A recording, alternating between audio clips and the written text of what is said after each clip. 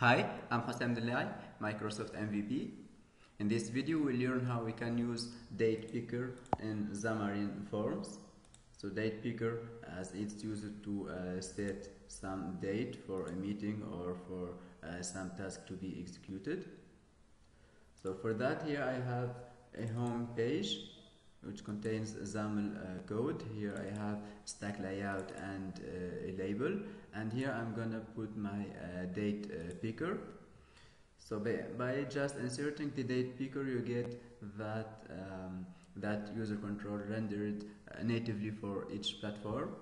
And now for the date picker I have some uh, additional options that I can use which are for example the minimum date. So here you set a minimum date that the user can pick. So for example if you want your user to not be able to uh, fix a meeting before the date of today. So here you can specify uh, the date. Let's say so for example today it's 3 8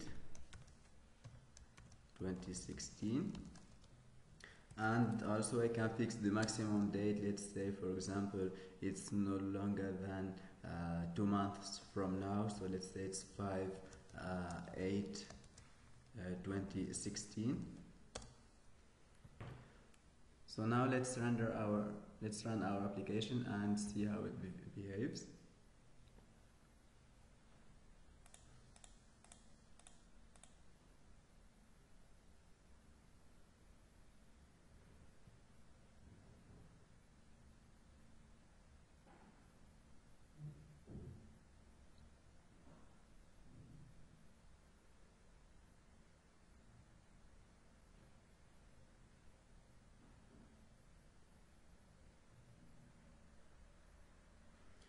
so here it is for my uh, Android uh, device. So here the um, the date picker for uh, Android device. So here I cannot say as you see all the previous dates previous to the date of today are disabled. I cannot choose one of these. And also I cannot choose a date um, superior to the date of um, two months from now. So all of these are uh, disabled. I can only um, use one of the dates within the range I have specified be between the minimum uh, and the maximum date. The same here.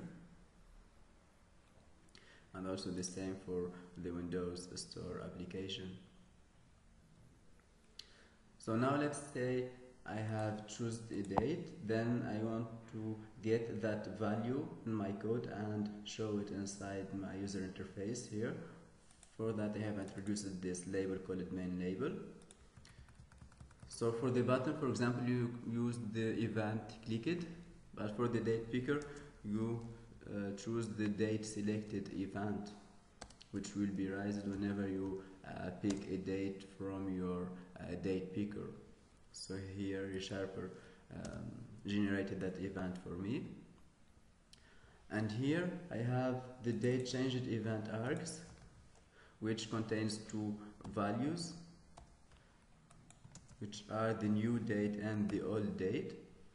So here I can access the old date but now I want to get the new date that the user chooses and then I want to show it inside my label page call it main label. So I go to the main label dot text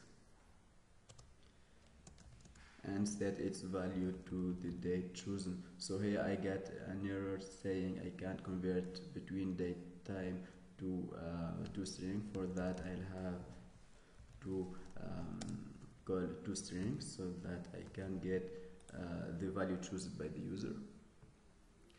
Now control F5 for faster debugging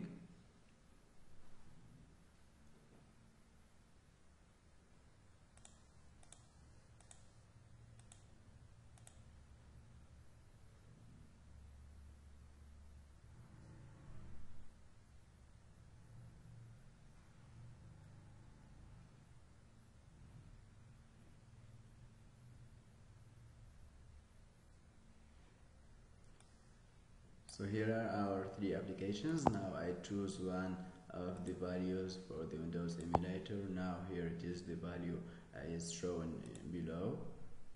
the same for my uh, Windows application and for Windows Store application also the value is uh, shown here so this is a way to do it but I want also to remind you about using the X reference that I talked about in a previous uh, video. So using the, the X reference you won't need this uh, event handler. So I'll go and delete it and also delete it from my code behind here. And instead instead of that I'll go and add text property to the main to my label and I will try to access the date picker using the source here and using also X reference. Here I have to um, to get a name for my date picker so that I can use it for that I'll go and give it a name. Let's say it's main date picker for example. So now when I go to the X reference here I get the name my main date picker.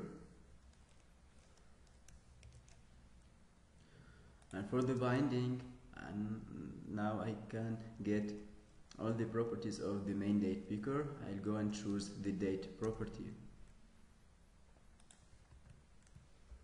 Now let's run this again and see it in action so those are two ways. So either you fire the event or if you if what you, you want is just to show its value inside a label or inside uh, a text box then um, doing this in one line of code is um, I think is uh, just uh, very easy for you to do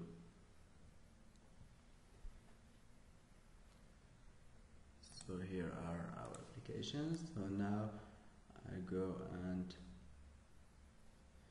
so here it, it uh, because it does binding to this element it shows me the value already here so I go and choose another one. 18 so here it is and now it's right here. Yeah. Let's choose another value for Windows application.